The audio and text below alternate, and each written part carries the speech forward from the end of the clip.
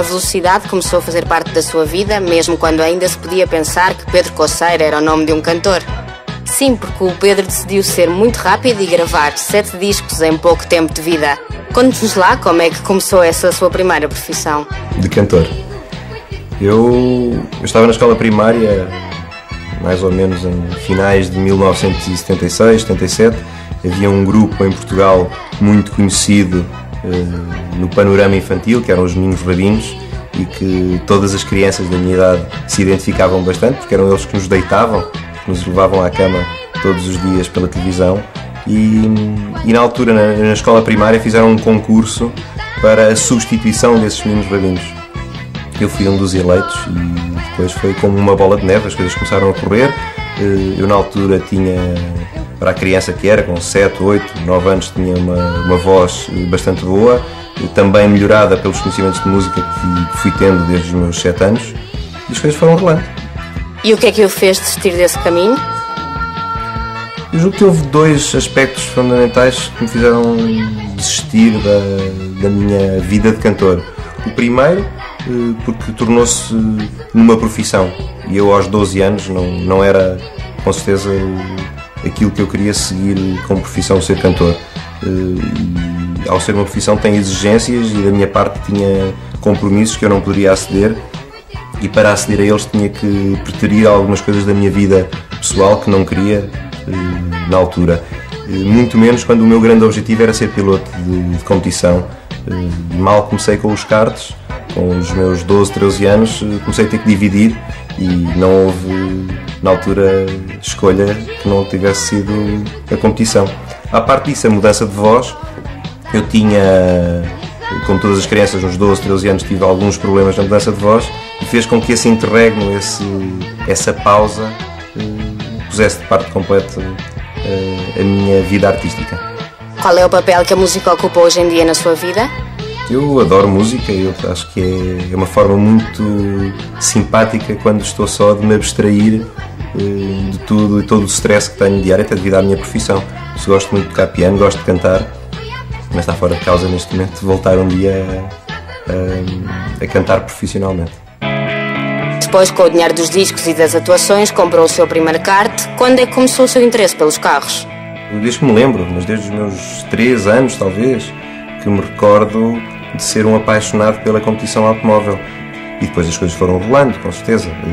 Dei por mim com a possibilidade de comprar um kart, com um irmão mais velho que me ajudou, porque não tínhamos ligações nenhumas pessoais ou familiares ao desporto automóvel.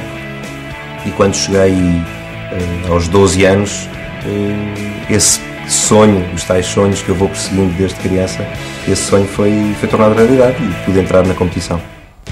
É supersticioso quando corre? Sou, sou até bastante. Eu acredito que todos, eh, eh, neste caso desportistas, mas eh, de todos os que eu conheço, todos nós temos as nossas superstições. Eu, eu não sou católico, não sou crente e por natureza não tenho, não tenho algo que me prenda a não ser pequenas superstições.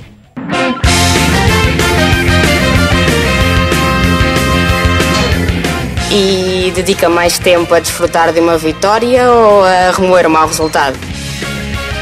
É uma pergunta interessante, nunca tinha pensado as coisas dessa maneira.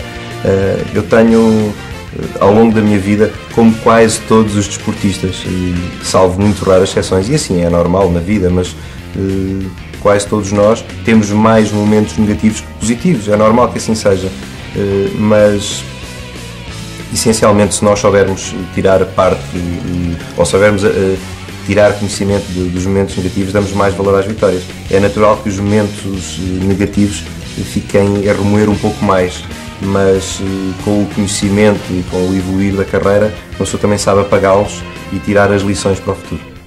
Como a minha atividade ando sempre de cara tapada, achei que o capacete seria a melhor forma de expressar as minhas emoções. Por isso, desde pequeno, sempre tive a mesma decoração, com algumas variações. E fui, ao longo dos anos, eh, guardando recordações muito especiais com todos os meus capacetes e, muito especialmente, de alguns que eu gostava de vos mostrar. O primeiro dos quais, e repetindo-me, é mesmo o primeiro capacete. Eu passei com ele cerca de 6 anos no karting eh, tive excelentes momentos, as primeiras vitórias aconteceram com este capacete, mas também os primeiros acidentes, como se pode ver. Depois aquele que me possibilitou ser, se calhar ainda hoje o que sou, um piloto internacional e continuar a ser profissional. Foi quando fui campeão nacional de Fórmula 4 e em Portugal consegui o resultado que me permitiu ir para fora de Portugal e, e continuar a minha carreira eh, em mais altos voos. Tenho outro capacete que tenho um carinho especial, especialmente porque é devido a ele que se calhar ainda aqui estou a poder falar convosco. Eh, em 1997, já na Fórmula 3000, tive um acidente muito grave em que um adversário meu eh, literalmente me sobe pelo carro e atravessa-me o capacete dois centímetros mais abaixo e teria sido fatal. E mesmo aqui já foi o capacete que me salvou, por isso tenho um carinho especial por este capacete. Mudou muita coisa depois do primeiro acidente? Hum, sinceramente não. Uh, mudou uh, em, em algumas fases da minha vida, sim, uh, as, os primeiros grandes momentos negativos, não só os acidentes, mas principalmente situações de adversários meus ou pilotos com quem eu tinha melhores relações e que por alguma situação tiveram acidentes, muitos deles fatais. Isso mudou mais do que os meus próprios acidentes. Que tipo de condutor é que o Pedro é no dia a dia? Sou um piloto bastante calmo, um piloto ou um condutor bastante calmo. Uh, tenho a felicidade de poder fazer aquilo que gosto uh, e deixar toda a minha adrenalina nas pistas. Por isso o carro no dia a dia serve para mim como um, um puro elemento de deslocação, mas também de, em muitos casos de prazer. Mas esse prazer não é o ser um louco ao volante, longe disso mesmo. Como surgiu o projeto de lançar um livro de banda desenhada? O projeto de banda de, do livro de banda desenhada eh, foi talvez dos projetos mais fantásticos na, nos últimos períodos da minha vida.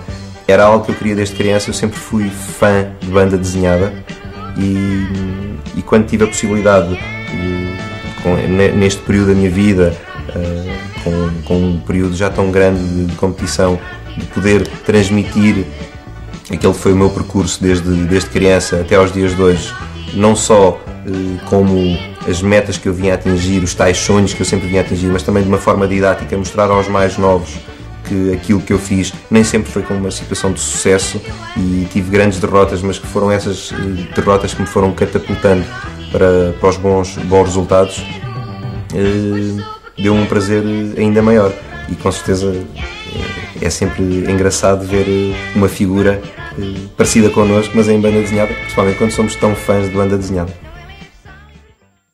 O que é cumplicidade para si? Cumplicidade, acima de tudo, é, é saber eh, gerir com, com outros eh, a possibilidade da união e de conseguir fazer algo que sozinho não conseguimos.